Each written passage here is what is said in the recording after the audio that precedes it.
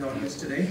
Um, and some of the key findings of that tra traffic impact analysis is um, under existing conditions, if this was implemented today, and this is based on modeling, uh, modeling work, approximately 100 to 200 vehicles would be diverted uh, per hour, uh, per peak hour from Shelbourne Street. Um, this is a this is a, a, little bit different than when previously uh, there was a previous study done looking at um, a two-lane configuration on Shelbourne Street, and the diversion from that was estimated to be in the range of three to 400 uh, vehicles per hour. So this is um, not quite as um, um, impactful as that. Um, one of the other things that the analysis looked at was what would be the diversion rate to parallel streets. So uh, Richmond, Cedar Hill, and Gordon Head would be the, the streets which would experience some level of traffic increase. Um, in, addition, in addition, one of the things they, they analyzed was what would be the travel time delays for um, uh, both in the southbound and northbound directions in the peak periods. And for southbound AM, it would be approximately 78 seconds, and PM northbound would be 156 seconds. Um, and additionally, there was modeling conducted looking at um, conditions in 2038, so projecting forward and using some of the, um, the data in terms of uh, what the anticipated um, increase in traffic volumes is Emily, um, and they, there's also numbers provided there. The, the travel time delays are, are relatively similar, um, but there, there will be additional vehicles diverted off, off of Shelbourne scenario. So in terms of looking at um, next steps and some of the, the, process options for moving forward with this information, um, uh, there's four options that are identified in the report for council. The first option is, is to seek uh, public feedback on the implementation options. Uh, I think it's, it's, it's, fair to say that a lot of this information is, is, is fairly new information that wasn't um, wasn't fully explored in, in the in the Shelbourne Valley Action Plan process. So this would allow um, option A would allow um, this option to be uh, fully explored in, in, the public with key stakeholders and the general public to get a sense of um, uh, if there was any changes they'd like to see to any of the options or if there was a preferred option that they would like to um, identify for council. Um, option B um, looks at separating the short-term mobility actions from the Shelbourne Valley Action Plan itself. So in this scenario, uh, the, the broader 30-year directions of the plan, which is the majority of the plan, um, would, be would be separated from the, the short-term mobility actions. Um, the, the, the, larger plan would proceed to, um, to a public hearing while there be a separate process around, um, around the short-term mobility actions. In terms of looking at the, uh, the pros and cons of this option, um, one thing that could create is confusion in the community around having a, a separate process for the plan and then the, the implementation items. Um, conversely, one of the benefits would be it would, it would provide uh, closure and clarity um, for, for developers and other, other, other folks in the community that have been involved in this process.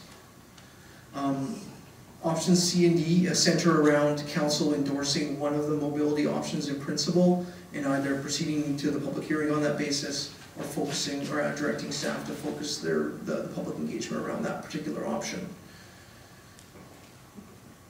So um, presuming that, that uh, council, um, council recommends going back out to the public and, and exploring the options further under one of the, um, one of the process options, the general process would be to um, engage in public consultation um, in, in November of this year. Um, and uh, report back to council um, in early early part of 2016 to seek direction on whether to whether to proceed to the public hearing and what amendments would be appropriate to the plan. So in closing, the recommendation is that council receive the report for information and direct staff to seek public input on mobility implementation options. Thank you, Mr. Scott. I'd like to introduce you as the manager of community planning, so for everybody in the audience to know that, and apologies um, I see hands among council, but I think at the point, well, Mayor, you like to make a comment before we invite the public or a question? Yes, thank you, Chair. Just a quick question. Has any of the material that we've seen today been uh, put before the working group that existed for several years? They were community-based and uh, they helped develop the Shelbourne Valley Action Plan. Uh, is, is the working group still around? Are they still being engaged? That's my question. So through, through the chair, um, yes, the working group is still engaged. Uh, we met um, uh, last week with them to uh, give them a preview of the report and, and answer questions. And the intention is um, that as we move forward, they're still uh, an integral part of, um, uh, assisting staff in developing engagement techniques and providing feedback on the plan. Just a quick follow-up, how do they provide any feedback? Is it expected that they provide feedback directly to us, or do they provide it to you and then you report to us? Uh, Through the chair, um, the, I think it happens through both channels. Um, Many of the um, uh, stake- stakeholder committee members uh, provide feedback as individuals, um, but there also is opportunities within um, the stakeholder meetings for them to provide input and feedback and, and help um, shape some of the, some of the public engagement and, and provide feedback on the plan direction, so it would be both. Okay, so just to uh, answer my, my, uh, my final question, if I can, is, um, given their experience and their long time with this project, have they provided an endorsement? Other than to just say to go out to the public and to share? Yeah, I think, um, I uh, ask that because they're very, very vocal about road design and things like that, so I'm just curious how they've expressed themselves.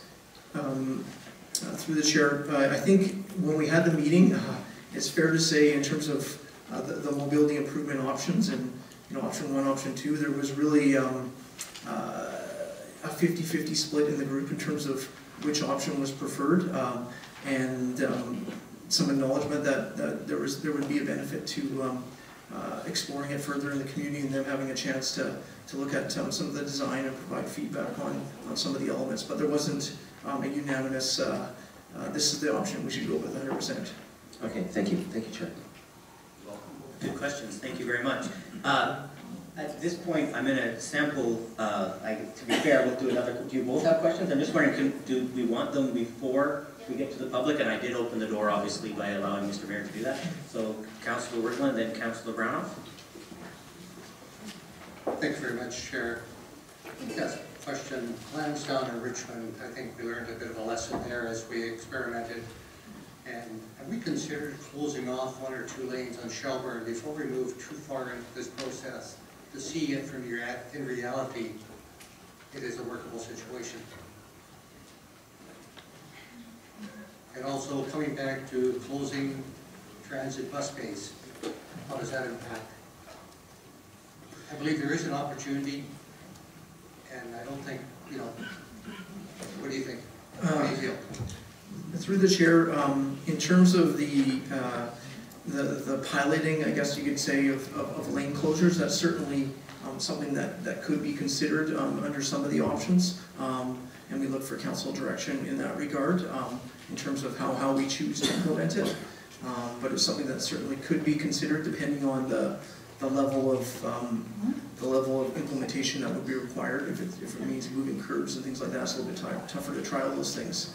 Uh, But certainly something that be, could be considered as part of the implementation. Um, And in terms of the second question around um, uh, bus bays, the, um, the, the idea with removing bus bays in uh, option one in anyways is, is that it doesn't, uh, it prevents the need for um, transit to pull in and out of traffic. In addition, it, it, it really does create a a significant amount more pedestrian space um, to really improve those, those transit waiting areas and oftentimes provide separation from, uh, uh, for, for the sidewalks. Um, In an option two, uh, in the, in the areas where it would be one travel in each direction, the bus space would be kind of a necessity uh, because the buses would need to, to pull off to um, provide, um, uh, to allow, to maintain traffic flow. Just one more question. The whole process we've gone through hasn't been Saanich's, shall we say, shining star. And question I'd like to ask, we have options one and two. What's option three? I see an option three. Do you see another option? Uh, Through the chair, certainly, um, if there's an opportunity for, to engage uh, in, in public feedback, um, there, there would be the potential for, um, for, for uh, refinements to, to either one of the options, which could potentially result in option three, I think. Certainly would like to be open-minded to, to changes that, that are out there, and if there's a strong public support for uh, a particular option, that's a modification or variation of one of the two options, and that's certainly something that, that we could consider and bring back to council for consideration. And I'd just like to ask one more question. Would option three just be to go ahead with the draft plan over 30 years like we talked about through the whole process? Um, Through the chair, I think um, one of the things that's laid out in the report is, is a number of alternative options. I didn't cover them off um, in, in my report in the, in presentation in the interest of brevity, but um, there's a couple different options there in terms of um, implementing, you know, cycle track all the way along Shelbourne Street, which would likely require um, fairly significant property acquisition, or more of a status quo approach in terms of waiting for redevelopment to, for, for, waiting for redevelopment to um, implement as this redevelopment occurs. So that, uh, those were, those were things that were explored at a conceptual level. Is that what you were uh, driving at? That's what we went out to the public with, I believe. Thank you very much. Thank you, uh, Mr. Chair. My comment is actually uh, to the engineer, that's okay. Um, So in the scenarios, there is um, comment around traffic, um, 100 to 200 flowing to Cedar Hill, Richmond, and Gordon Head. But I don't think I saw anywhere where there could have been some um, information about in the time frame. Is there any capital improvements to those three roads in your five-year capitals? Uh, Through the chair to Council Brown, in, in our five-year plan, we did talk about Cedar Hill and Richmond being part of that. Uh, But that, um, of course, when we're looking at the costs related to Shelbourne Street and uh, in terms of we're going ahead with one of those two options, we would have to reevaluate those five-year plans. And that may mean that um, some of those parallel streets wouldn't be set as a, as a higher priority uh, compared to other parts of the municipality that we would also want to focus on. And uh, with both, with those streets, uh, are any of them on uh, your plan for safe routes to school, or have the schools in those, on those roads, Cedar Hill, Richmond, and Gordon Head already been dealt with? I'm just trying to think of higher priority where you could, Yeah, through the chair to Council Brownoff again. Uh, I have to go look at specifically each one of those safer to school plans. I believe one at Doncaster had some implementation already uh, implemented. Uh, Yeah. As you saw with the line this past year, we put new sidewalks on Cedar Avenue um, and close to the school, and that was part of the safer to school plan. Uh, I would have to look at the other ones to see where we're at with those. okay, thank you. Councillor Haynes? Um, It's an amazing detail plan, thank you very much, staff, um, for preparing this. Um, I have a couple of brief questions. When you talk about the diverted traffic, just so I understand these numbers correctly, on table five, there's 100 to 200 cars diverted from Shelbourne Street, peak period. Then you look about, down below, you look at traffic increase on Cedar Hill, traffic increase on Richmond, traffic increase on Gordon Head, peak period. And it says, for example, percentage traffic increase on, let's say, um, Richmond, uh, Cedar Hill, 10 to 15 percent. Is that 10 to 15 percent of the base of the existing traffic on Cedar Hill, or 10 to 15 percent of that diverted traffic off of Shelbourne? Because in which case it will be like uh, 30 cars. So I'll try and answer that question through the chair to uh, Councillor Haynes, but at some point, uh, Urban Systems is here to help answer some of those detailed questions. But uh, essentially, the 15, 8 to 15 percent is an increase to that road. So if it was Richmond of 8 percent, that's an 8 percent increase to the peak period on that road. Cedar Hill would be a 15 percent increase to that road. So not an overall 15 percent diversion from Shelbourne uh, to those roads. It's, it's looking at the base of that road. Okay, thank you very much for that. Um, a supplemental question, if I may, to engineering. Um, this morning, um, some of us met with the concrete industry, and some of the points they raised about the use of concrete in roads, etc., and their job is to sell concrete. But they raised a couple of interesting things where bus stops in Vancouver are converting to the use of concrete over asphalt because of the different performance of asphalt under the stress of start and stop of heavy vehicles, and that there was a cost saving, a significant cost saving, if that was done at bus stops and at intersections. Is this something that would be considered here, or is it going to stay asphalt? Wonder if you just give us some thoughts on that. Yeah, through the chair, to uh, Councillor Haynes, certainly that would be a consideration for it. Um, The, the concrete uh, bus paths that you're describing, uh, obviously do have a much longer lifespan. It prevents the shoving and heaving from uh, heavy buses that when they come to a stop consistently and pushing our asphalt, uh, and that's the reason for the implementation, specifically like on uh, B-Line for Broadway Street, for example. Uh, we would probably look at that as a, a part of the component uh, for Shelbourne Street. We just haven't got to that detail in the design yet. Now, how about, if I may, the intersection part? Because if we look long-term on our road maintenance, would it make sense to do, go concrete on the intersections where again there's more shear of cars turning? Uh, That would probably be, um, sorry, through the chair to Councillor Haynes, we, it- that may, may not be as straightforward. Uh, Our intersections have a lot of underground utilities um, and external utilities that are constantly cutting that road. Uh, As soon as you put concrete in, uh, it can be, there's some good pros and cons for it. Uh, Great for highways where you're not necessarily having to lift up the road constantly and then breaking the integrity of the road. But where we have uh, intersections like that, uh, asphalt usually proves to be a better uh, pavement surface. Okay, thank you very much, that was very useful. Thank you, council. At this point, we'd like to invite members of the public to provide input on the item. Again, if you don't mind introducing yourself and your address, please, for the record. If you are speaking on behalf of a community association that has done consultation within your community association, would you kindly let us know? We will therefore adjust the clock to 10 minutes, and we don't have that awkward moment of interrupting you to see if you have done that consultation. So, welcome. My name is Daryl live at fourteen ninety-one Edgemont Road. For me, the uh, potential cycling through the Shelbourne Valley has been a roller coaster ride, oscillating between hope and frustration. I was part of the Bicycle Advisory Committee twenty-five years ago, identifying Shelbourne as a vital link for cycling.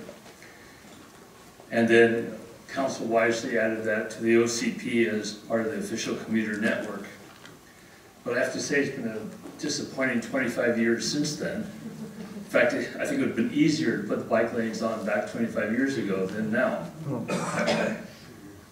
Then I saw the Shelbourne Valley Action Plan and I read one of the first pages. And just to read this short bit, for the Shelbourne Valley, the most urgent needs are mobility network enhancements to better accommodate walking, cycling, and public transit. So I was quite encouraged. Then I read a little bit further and saw that, in fact, it was a 30-year vision implementation plan, and there was nothing in there to allow for cycling as an intermediate stage. So I think that would have been 55 years before I'd see cycling on Shelbourne. But then along came the supplemental report, and again, I've got hope, and I really like to congratulate the authors of that. It's thinking out of the box. And specifically, mobility option number two provides, is, provides the first transition from what we have on Shelbourne now to the ultimate plan.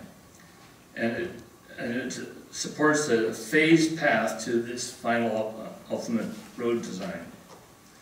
Based on that, I urge council to endorse mobility option number two for public engagement and this would provide a better focus for that public engagement. And I also support what is recommended as support process option B, where you separate the short-term mobility actions from the Shelbourne Valley Action Plan and forward the remainder of public hearing so that developers can start the process. But I think the important part really is to make sure that you endorse mobility option number two so we can actually see cycle lanes and start this transition. Thank you very much. Thank you, Mr. Wick. Any further speakers? Welcome. Thank you very much. Thanks for the opportunity to speak. My name is Soren Henrich. I live in Victoria. I became involved in the Shelbourne Valley Action Plan process as a stakeholder through the uh, Friends of Bowker Creek, And your address, Mr. Soren? 1739 Haltane Street. Um, What um, the stakeholder experience was, um, I quickly had to set aside Bowker Creek because three of the four years from 2009 to 2012 were spent on mobility uh, issues. And this is a case study in um, a stakeholder group that became very organic.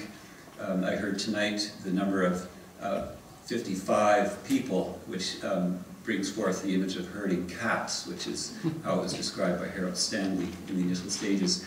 Uh, so I don't know, I didn't actually see 55 people at any of the stakeholders' meetings, so that was probably a mailing list.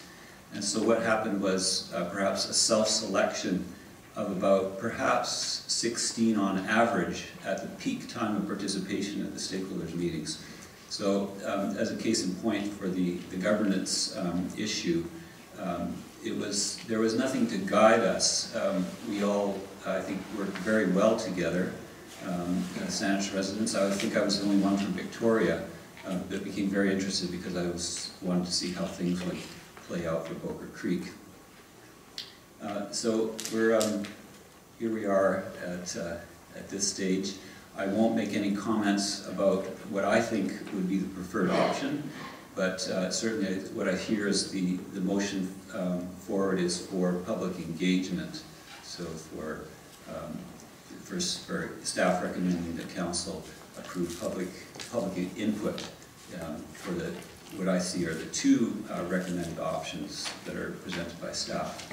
And I would also like to just commend um, staff for bringing forth that second hybrid option. This was something that the stakeholders were um, struggling to see in the plan from the early days. So here we are after a 18-month hiatus. Um, we had reconvened last week, and I think we're all um, I think we're all interested in, in looking more closely at the two options that are presented. Um, certainly we can't, um, I don't know if we're going to have consensus on which one, because we are just a, a cross-section of, of people representing community groups in Saanich, and, and me as a, a user of Shelbourne Valley, um, or Shelbourne Street as a cyclist, as um, my, my children bus to UVic along Shelbourne, um, so I, I, use it in various ways. I walk, I explore um, the Creek Way, and so I, so I do have a regional interest um, in the use of the of the uh, the right of way and, and and how it affects. So certainly there'll, be more specific comments that will come from individuals on the stakeholders committee, and um, and we'll see how it plays out collectively. I would like to make a recommendation in when we, if the council um, votes to approve advancing to, to public input. That, um, of course, the stakeholders, I heard from Cameron Scott that the stakeholders will still be part of that, um, that uh, input process. And when it advances, should it advance to open house, that the framing of any um, input or survey questions also be vetted in advance by the stakeholders committee, because the form of those questions can, uh, can in, influence the outcome of uh, how the public support is read um, in, the, in, the, final, um, final outcome. So thank you very much, Mr. Chair. Thank you very much for coming tonight. Welcome our next speaker, please. Uh, my name is Martin Simmons, 1620 Christmas Avenue. I would have loved to have been involved in the process of this, but uh, uh, of the plans available, uh, the first one, Plan A, just for the trees cut, I think is horrifying. Plan B is the better of the two, but I would like you to investigate the, the third option where you are actually creating parallel routes to Shelbourne because I, I object to Shelbourne being called the most desirable route to walk or cycle. It is by design right now the, route that is a necessity to take. I've walked from as far as Caddo Bay to Mayfair and Rock Bay and Quad, uh, down to Jubilee, and I, I, know the area extensively. And Shelbourne is the most unpleasant place to walk. Okay? You don't go there unless you have to. I live near Shelbourne and Cedar Cross. And if I wanted to go up to Tuscany, I have to go along Shelbourne. There are no parallel routes in the side streets. So I would like you to investigate some way where you know, cyclists don't like going on Shelbourne for fun. They do it because it's the only route through. And as a member of the Montgomery Community, Community Association, I would like the area to be considered not so much a route to somewhere else, but I think I want to build something that we can actually enjoy as pedestrians and members of the community. So a cycle route all the way up and down Shelbourne, that's fine. Trees, let's keep the trees, but I would preferably see routes parallel to Shelbourne that you can actually walk cycle and not have to worry about a bus coming by. So I think there are more options that we should creatively be thinking about. And I please, please, more invest, more involvement of the community. So more parallel routes, It's not a fun street, it's not, it's not the desired path, it's the necessity path. Thank you. Thank you very much for your comments. Welcome our next speaker. We seem to have a queue forming along the wall there. If That's the way you wish to go ahead, please feel free. Uh, Good evening, Mayor and and councillors. Uh, My name is Lee Thiessen. I live at 1515 Louise Place.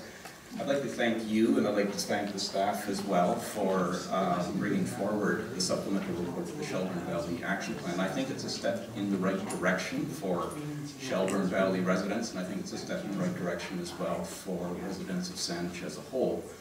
But I think it still has some shortcomings, particularly in the evaluation of, uh, of the options. So one thing that we've already been informed, and we've read the report, we noticed that there is a consultant's report that looks at traffic, the traffic impacts of the hybrid uh, option. Um, And that's, that's to the good. Obviously, we need that kind of information. It- it- It's very, very clear. But for heaven's sakes, where is the analysis and the data when it comes to the estimates of increased bike traffic on Shelbourne?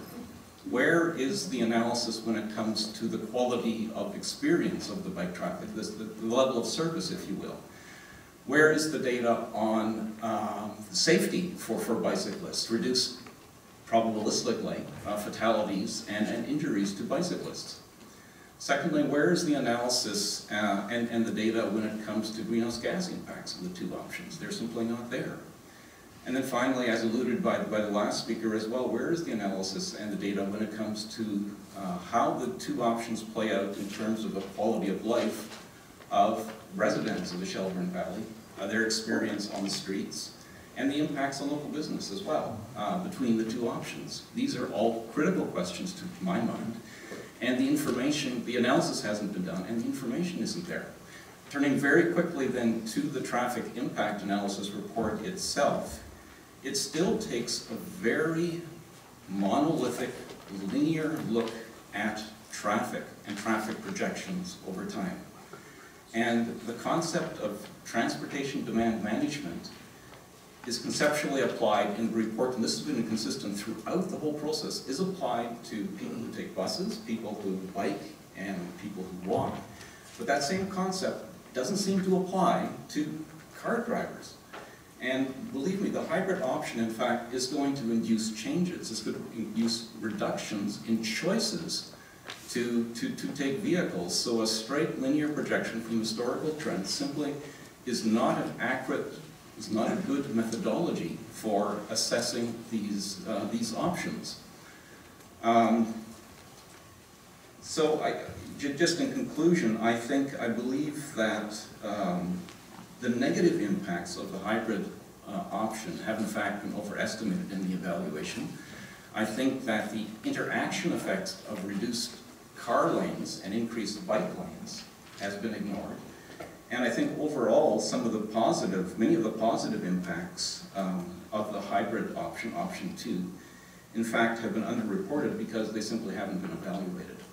So again, I still think it's a step forward, but I would, what I'd like to ask you to do, if this does go forward, if you recommend that this goes to public consultation, what I would ask is that more work, that you direct staff to do more work in filling in the information gaps that are currently in the plan, which I believe will bias decisions, they'll bias public input.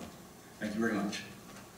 Thank you, Mr. Thiessen. Uh, I have noted your questions, and when we are completed with the public input, I will ask staff to come back and answer those questions as best we can at this time. Thank you. Thank you. Would our next speaker please come forward? Welcome. Hi, uh, thank you, Mayor and council members and staff, center staff.